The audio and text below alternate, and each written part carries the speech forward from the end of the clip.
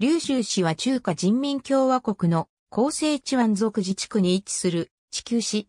劉州市は広西チワン族自治区中部に位置し、慶林市、来賓市、河内市に接する。西への支流である流行が流れる。全111年前巻により、宇林郡に設置された単中県が行政区画設置の所見である。621年、当庁は南本州を設置し、馬平、龍城などの5県を管轄した。634年に南今州は龍州と解消された。742年に再び龍州と解消された。五代十国時代になると927年にスワイの支配下に置かれ、950年に南韓の藩都とされた。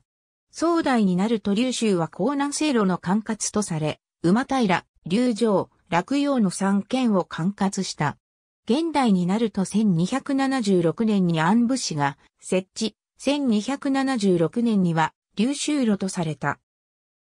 秋代になると1368年に流州府とされ厚生行中諸省の管轄とされた。清代になると、流州府は右行動に属したが、1683年に右公文順道所に移管された。中華民国が成立すると1913年の不正廃止に伴い流州は廃止された。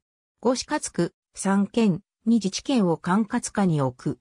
厚生省流州選区厚生省流州市、厚生地湾族自治区流州市厚生地湾族自治区、流州地区厚生地湾族自治区流州市場奇通用、五両義社の本社及び工場が所在する。流州駅駅舎。ありがとうございます。